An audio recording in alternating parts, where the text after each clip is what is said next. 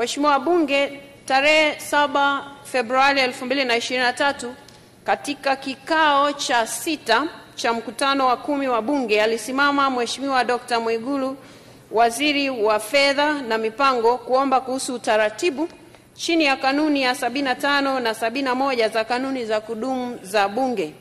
Mheshimiwa Dr. Mwigulu Nchemba aliomba kuhusu utaratibu wakati Mheshimiwa Katani Katani akitoa mchango wake katika taarifa ya kamati ya kudumu ya Bunge ya uwekezaji wa mitaji ya umma PIC, taarifa ya kamati ya kudumu ya Bunge ya hesabu za serikali PAC na taarifa ya kamati ya kudumu ya Bunge ya hesabu za serikali za mitaa LAC kwa mwaka 2022.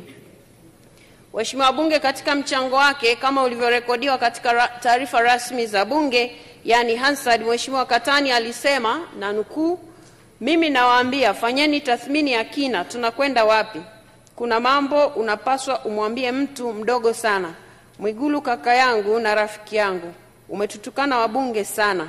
Mimi nakuambia umetutukana wabunge sana, na unapaswa ukae na utafakari utakapokaa hapa. Hakuna anayeweza kujadili waganga wa kienyeji hapa, hamna, hamna. Mheshimiwa Naibu Spika, haya tunayojadili ni maisha ya Watanzania na tumeletwa bungeni tuwasaidie Watanzania.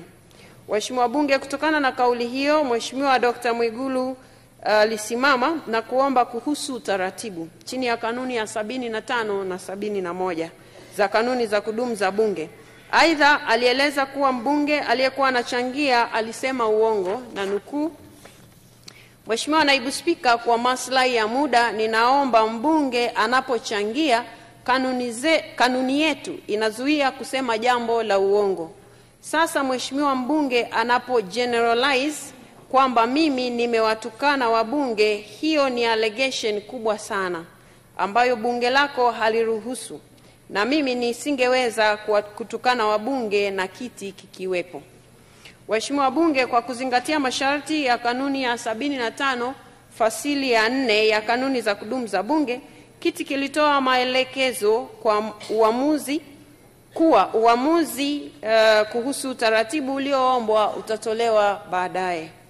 Baada ya kuzipitia taarifa rasmi za Bunge, waheshimiwa wabunge, nimetambua kwamba chimbuko la kauli ya Mheshimiwa Katani A. Katani na kauli za baadhi ya wabunge wengine ambao wamekuwa wakizitoa hapa bungeni kuhusu jambo hili zinatokana na kauli ya Mheshimiwa Mwigulu Waziri wa Fedha na Mipango aliyoitoa mnamo tarehe moja Februari 2023 katika kikao cha pili cha mkutano wa kumi wakati akichangia taarifa ya kamati ya kudumu ya Bunge ya Ardhi, Maliasili na Utalii na taarifa ya kamati ya kudumu ya Bunge ya Viwanda, Biashara na Mazingira kuhusu shughuli za kamati kwa mwaka 2022. Katika mchango wake, Mheshimiwa Waziri alitolea ufafanuzi hoja ya Mheshimiwa Luhaga Mpina alizokuwa ameziibua wakati akichangia taarifa ya kamati hizi. Mheshimiwa Waziri wa Fedha na Mipango alisema kama ifuatavyo na nukuu: Mheshimiwa Mwenyekiti, nataka niweke kumbukumbu sawa katika baadhi ya mambo ili Hansard zako ziwe, ziweze kupata vizuri. Nikianza na jambo moja ambalo ameliongelea Mheshimiwa Mpina. Katika mchango wake amechangia mengi, lakini eneo mojawapo amesema tunapata mfumuko wa bei kwa sababu ya mismanagement ya sera za fedha. Akaele, akaelezea kwamba tumefanya malipo nje ya budget. Kwa maana hiyo, yeye akakichukulia hicho kama kitu ambacho ni mismanagement ya sera za fedha. Waheshimiwa wabunge, Mheshimiwa Waziri alitolea ufafanuzi hoja hii na hoja nyingine za mchango wa Mheshimiwa Mpina kwa kirefu, na wakati akimaliza alisema na nukuu, Mheshimiwa Mwenyekiti, hebu tujadili mambo mengine huko yanayohusu uganga wa kienyeji na vitu vingine. Kwenye uchumi, this is my profession. Tunajadilije vit, hivi vitu ambavyo vipo clear.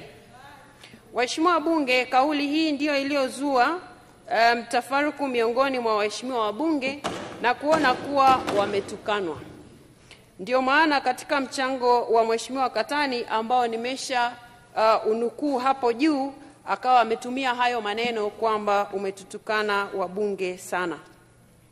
Lakini pia baadhi ya wabunge wame, wame katika michango yao wameonyesha kuguswa na kauli hii kwa mtazamo hasi, hivyo wamekuwa wakirejea katika michango yao hapa bungeni kama ishara ya kutoridhishwa na kauli hiyo. Mheshimiwa Mheshimiwa uh, Waziri wa Fedha aliomba kuhusu utaratibu akisema, ku, akisema kwamba jambo hilo ni la uongo. Sasa baada ya kuzipitia taarifa rasmi za Bunge kama nilivyonukuu hapo juu, ni dhahiri kwamba maneno hayo Mheshimiwa Mwigulu uh, aliyasema.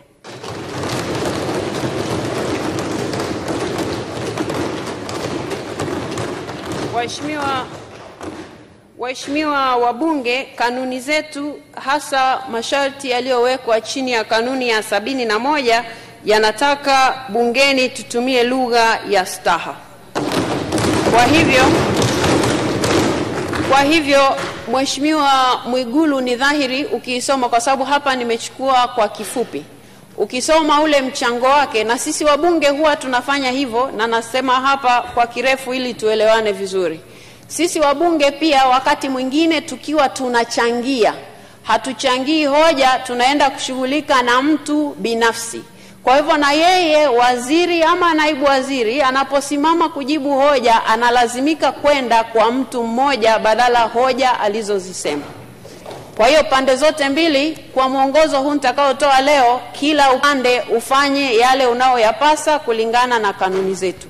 Waheshimiwa wabunge, tuchangie hoja badala ya kuchangia kuhusu mtu, lakini pia waheshimiwa mawaziri wajibu hoja badala ya kujibu mtu, kwa sababu lengo ni dhahiri la Mheshimiwa Mwigulu alikuwa akimjibu Mheshimiwa Mpina, lakini kwa sababu alieleza maelezo marefu hapo katikati, baadaye ndo akaja kusema hii sentensi ikaonekana kana kwamba inalihusu bunge zima, na ndio maana wabunge wamekuwa wakisimama wakirejea ile kauli, lakini kimsingi yeye alikusudia kumjibu mtu mmoja ambaye na yeye alikuwa amezungumza naye kwa namna alivyoona yeye kwamba haistahili.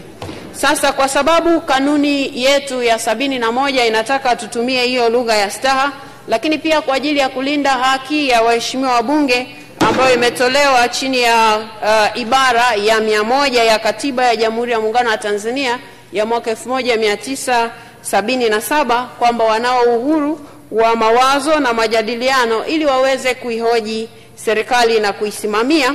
Hivyo uh, uamuzi sasa wa wa kiti kwa sababu haukuwa umeomba mwongozo, ulikuwa umeomba utaratibu kujua kama kanuni imekiukwa au hapana.